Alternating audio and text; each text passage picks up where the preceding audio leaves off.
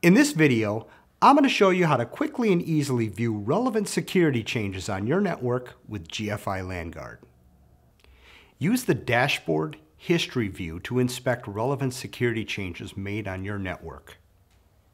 Be notified when new devices are discovered, when new security vulnerabilities are detected, when applications are installed or removed, when services are started or stopped, when new ports are opened, when new shares are created, when new users are created, when there are hardware changes, and so on.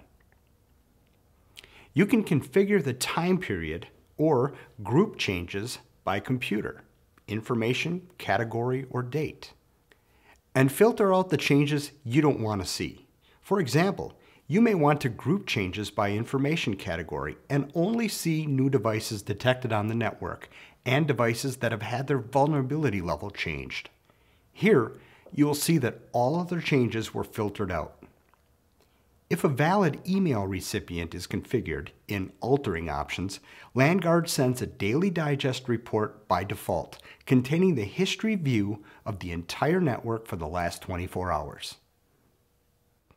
I hope you found this video useful.